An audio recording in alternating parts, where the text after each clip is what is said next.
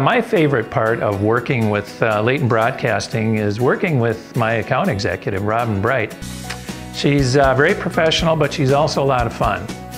We've been working together for, well, I would say, over 20 years. Um, and somewhere around the, the beginning of our relationship, uh, we decided to come up with a new tagline. And I have to give Robin most of the credit for this. We uh, came up with the oohs and ahs and every box guaranteed. And I use this in all of my advertising, whether it's uh, print, um, radio, video, whatever it might be. And occasionally I get people coming in and they will say, I need some oohs and ahs today. Um, the other thing that she encouraged me to do is to cut my own ads.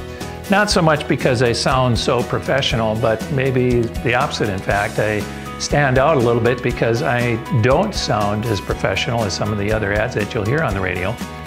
And um, people recognize that.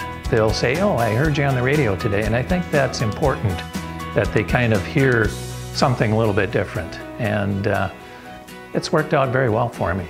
People recognize me when I'm on the radio. Um, they hear it. Um, what else can you ask for? I think what sets Leighton apart from uh, other places that I've dealt with is the personal attention. They all have my best interest at heart.